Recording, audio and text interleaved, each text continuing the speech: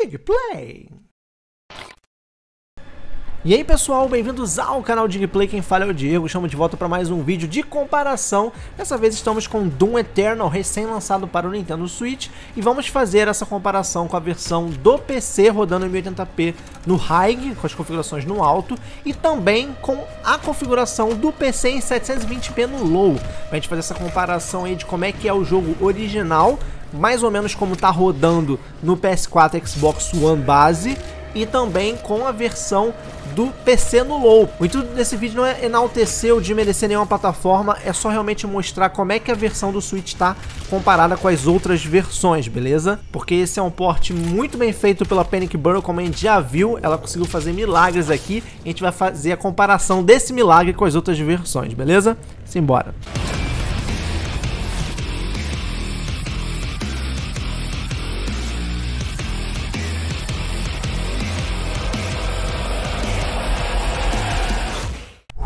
Então vamos começar a comparação com a tela de título do jogo, já que nós temos aqui um altar, temos um Dungai já na posição lá toda imponente dele, então a gente já pode perceber que nessa versão do Nintendo Switch ele está um pouco embaçado. Vamos transicionar agora para a versão 1080p no PC, o áudio também é original do PC, tá bom? Então a gente vê as coisas muito mais definidas do que na versão do Switch, logicamente, devido à resolução mais alta. Agora passando para a versão do Switch novamente, para a gente continuar na cabeça como é que é a versão do Switch, para migrar então para a versão 720p tudo no low do PC. Dá pra perceber que a diferença é bem baixa, né? Vou colocar aqui a tela estática Nintendo Switch e agora a tela estática PC 720p para a gente ter essa comparação e perceber que o Switch está bem parecido com 720p no low. Pegar um pedaço da cutscene pra gente ver aqui na versão do Nintendo Switch, o mesmo pedaço na versão do PC 720p e esse mesmo pedaço também na versão 1080p do PC. Vamos colocar a imagem uma do lado da outra, as três imagens para perceber as diferenças. Dá pra notar que a cutscene no Nintendo Switch tem uma tarja preta em cima e embaixo, e logicamente a versão 1080p é mais nítida do que as demais versões. Indo para a parte inicial do gameplay do jogo na visão do Nintendo Switch, uma visão panorâmica, para vocês terem uma ideia de como está o jogo, migrando para a versão do PC 1080p, com a definição muito mais alta do que da versão do Nintendo Switch. Vamos migrar de volta para o Switch, para a gente lembrar como é que é a versão, ok? Uma visão um pouco mais de longe. E vamos migrar agora para a versão do PC 720p. A diferença é bem pequena, um pouco mais de efeito de iluminação, né? E uma visão aproximada de 720p para ver mais detalhes em comparação com a versão do Nintendo Switch. Essa mesma visão aproximada, a diferença é bem pouquinha, gente. Ainda mais quando não tem muita iluminação, até os mesmos efeitos de fumaça tem ali.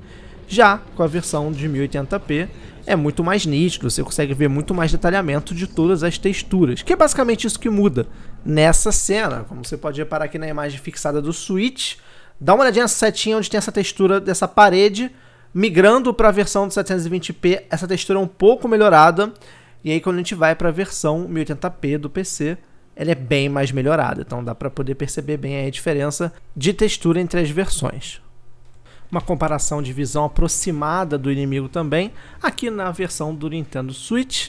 Essa parte aqui é boa porque é de treino, a gente consegue ver direitinho a movimentação do personagem. Passando para a versão do PC 720p, a diferença é mínima, quase nula, basicamente igual, tá? E com a versão agora de 1080p do PC aí, sim, a gente vê uma resolução muito maior, qualidade da textura bem maior, até mesmo os efeitos de brilho do inimigo. Agora uma versão do lado da outra para conseguir ver os detalhes ao mesmo tempo. 720p e Switch bem parecido, 1080 bem superior. Serrando capeta no Switch, serrando capetão no 720p e serrando capitão no 1080, rapaz. Porque serrar o capetão, não importa a resolução, é sempre gostoso.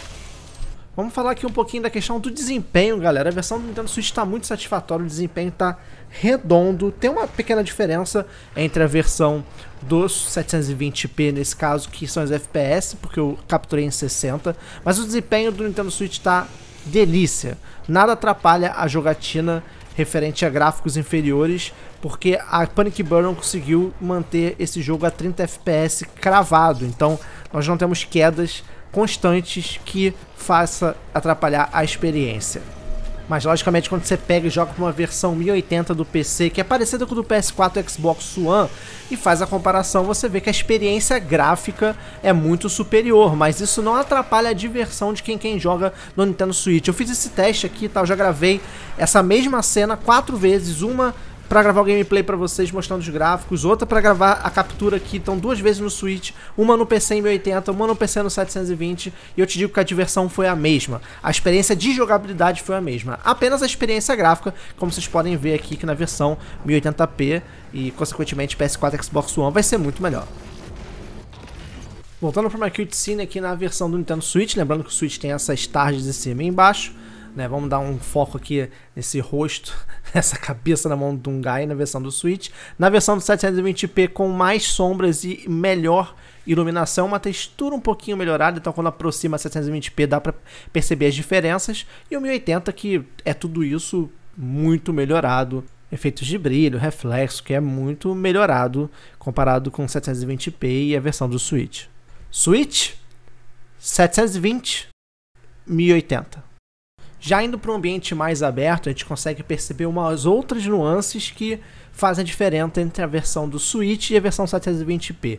Eu quero que vocês notem esses dois lugares que eu estou marcando, aquele item lá embaixo com um brilho azul e o item amarelo. Perceba abaixo do item amarelo e em volta do item azul, agora na versão 720p. Nós temos um brilho ao, ao lado do item azul e temos uma sombra de reflexo da cor desse item amarelo, alaranjado. Então, é, efeitos de iluminação foram cortados da versão do Switch. Agora, no panorama geral, quando estamos em um ambiente aberto igual a esse, as duas versões se aproximam demais. E obviamente quando a gente migra para a versão 1080p com tudo no high, isso é muito mais perceptível. Efeito de iluminação, de reflexo da iluminação e a textura ao fundo fica muito mais bonita e muito mais definida. E para evidenciar que em alguns momentos de campo aberto o Switch precisa baixar mais ainda a resolução, temos essa tela fixada aqui nesse mecha, que na versão do Switch está dessa forma. Quando a gente migra para a versão 720p, ele está mais definido, menos borrado, por quê? Porque o PC se mantém em 720p e o Switch precisa diminuir a resolução para uma resolução dinâmica, e quando a gente compara com a versão do PC, então em 1080p, a diferença é absurda, porque a definição do 1080 esse mecha fica completamente diferente, muito mais detalhado. Porque vai além da resolução também, tem a questão de a textura estar tá melhorada e com mais detalhes.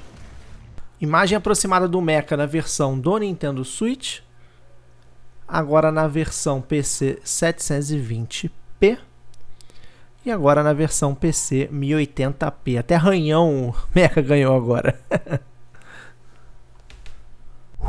Então é isso, galera. Essa foi a comparação de Doom Eternal da versão do Nintendo Switch com as de PC em 720p low e 1080p no high, tá? O que a gente consegue concluir é que a versão do Nintendo Switch tá muito bem feita, é um porte muito eficiente, muito estável, a diversão é garantida na questão de quesito de conseguir jogar na jogabilidade, mas a gente percebe que muitas vezes a versão do Nintendo Switch ela é bem parecida com a versão de 720p, mas em alguns momentos ela precisa ter uma resolução dinâmica, ela precisa diminuir mais ainda a resolução, além de 720 até mesmo na qualidade de textura, para você conseguir manter essa jogabilidade e dar a diversão para o jogador. Eu achei uma versão bem satisfatória justamente por esse quesito de que o jogo está lá, completo, sem tirar nem pôr.